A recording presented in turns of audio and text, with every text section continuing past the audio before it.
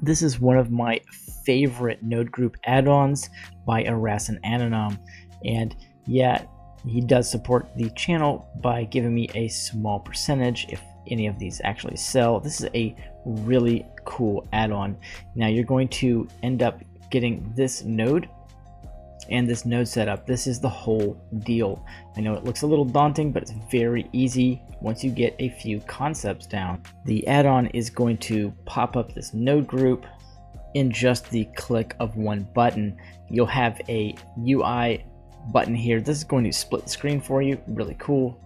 You'll have origin resets, center method, and you're going to have some different things in here like make canvas and make brush. Very cool features.